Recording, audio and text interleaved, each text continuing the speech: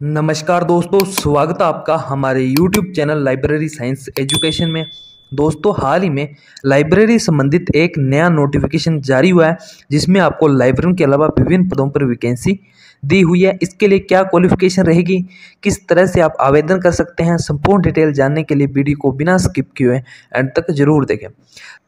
सबसे पहले दोस्तों, अगर हम पोस्ट की बात करें तो यहाँ पर आपको रजिस्ट्रार के अलावा विभिन्न पदों पर वैकेंसी दी हुई है, जैसे कि deputy registrar deputy controller of examination साथ में दोस्तों पीवी वॉइस चांसलर की यहाँ पर आपको पोस्ट दी गई है।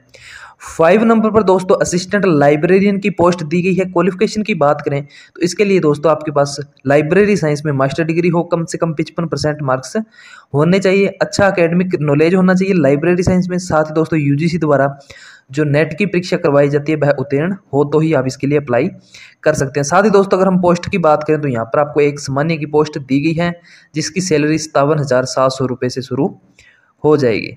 साथ में दोस्तों, यहाँ पर प्रोफेसर एसोसिएट प्रोफेसर के विभिन्न पदों पर वैकेंसी दी हुई है। अगर आप लाइब्रेरी के अलावा किसी अन्य पद पर आवेदन करना चाहते हैं तो इस नोटिस का पीडीएफ हमारे टेलीग्राम ग्रुप से डाउनलोड कर सकते हैं। जिसका लिंक आपको डिस्क्रिप्शन में मिल जाएगा। साथ ही दोस्तों, अगर हम और पोस्ट की बात करें तो accountant accountant assistant junior assistant की पोस्टें दी गई हैं। साथ में दोस्तों एज की बात करें तो आपकी 18 से 38 वर्ष आपकी एज रखी गई है। सिलेक्शन प्रोसेस की बात करें दोस्तों तो इसके लिए आपका रिटर्न एग्ज़ाम और इंटरव्यू लिया जा सकता है। शॉर्ट लिस्ट किए हुए विद्यार्थियों के इंटरव्यू और रिटर्न एग्ज़ाम के लिए दोस्तों, आपको इनके ऑफिशियली वेबसाइट पर या आपको मेल या एसएमएस के द्वारा इसकी जानकारी दे दी जाएगी। तो आवेदन करते वक्त दोस्तों अपना जो मेल और जो मोबाइल नंबर है, वह ध्यानपूर्वक भरें।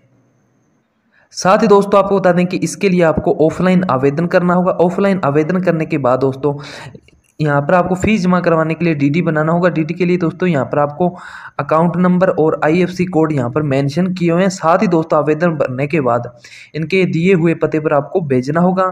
इनकी ऑफिशियली वेबसाइट का लिंक यहाँ पर मेंशन किया हुआ है, जिसका लिंक मैं डिस्क्रिप्शन में दे दूँगा। तो वहाँ से जाकर आप आवेदन कर सकते हैं। साथ ही दोस्तों अपना जो फॉर्म है, वो भी डाउनलोड कर सकते हैं। इसके अलावा दोस्तों, अगर हम नोटिस की बात करें तो यह नोटिफिकेशन आपका office of the vice chancellor Virangana Sati Sadhani Rajkiya Vishwavidyalaya, Golaghat, Assam की ओर से 10 मार्च 2023 को जारी किया गया था।